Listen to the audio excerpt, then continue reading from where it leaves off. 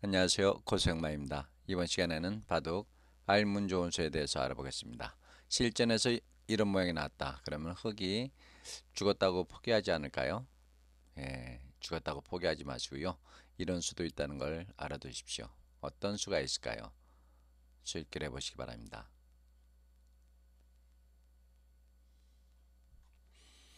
이게 지금 이쪽으로 두면요. 아 이건 말이 안 되죠. 유가무가라. 그렇다고 여기 놔도 이것도 말이 안 되고요. 그럼 당연히 어딜 넣어야 될까요? 예, 정답을 알아보겠습니다. 당연히 이쪽으로 둬 야 되겠죠. 그럼 연결하면 어떻게 하죠? 이렇게 연결하면 안 되는데 자 이때 포기하지 마시고 이렇게 안으로 집어넣어서 단수를 칩니다. 그럼 100이 이을 수는 없죠? 이거 따는 수밖에 없어요. 그럼 다시 따서 모양이 참 묘하게 됐죠? 이거 안 딸 수가 없죠? 단수 100은 여기서 있는 수밖에 없겠죠? 그럼 이렇게 해서 시체가 꿈틀거리면서 패를 내는 방법이 되겠습니다. 그러면 다시 한번 보겠습니다.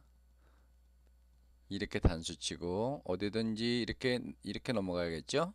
이때 이렇게 단수 쳐서 따면 이제부터 외길이 됩니다.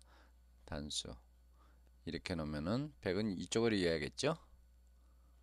그러면은 이렇게 나서 예, 시체가 꿈틀거려서 패를 만들어서 살게 되겠습니다. 이렇게 해서 패를 만드는 방법 알아봤습니다. 그러면 다음 시간까지 안녕히 계십시오. 감사합니다.